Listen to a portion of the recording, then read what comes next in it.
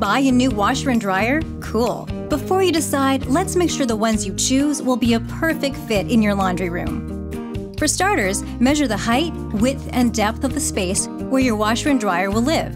Be sure to note the distance from the floor to any adjacent countertops and to the bottom of any overhead shelves or cabinets. For top load washers, make sure to have at least 20 inches above the machine.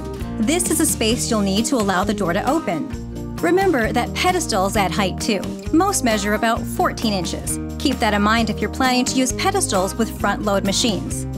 You also need to leave a little breathing space so your washer and dryer stay properly ventilated. Allow for an inch of space on each side and a 6 inch gap between the appliances and your back wall. Deduct these measurements from your available space to come up with the final dimensions. Also, make sure you have room to fully open your washer and dryer doors and check to confirm whether your dryer is gas or electric. For gas dryers, you'll need a gas shutoff valve positioned behind the appliance, a three-prong 110 volt electric outlet, and a ventilation port.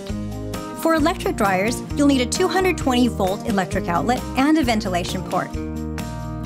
Last but not least, think about the route that your appliances will take when they're being delivered.